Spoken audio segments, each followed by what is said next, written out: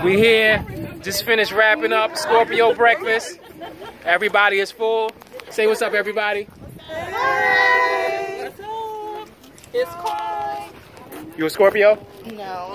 What's your sign? What's your sign? I'm an Aries. All right. Gotta check. We gotta find out. Scorpios unite. Peace.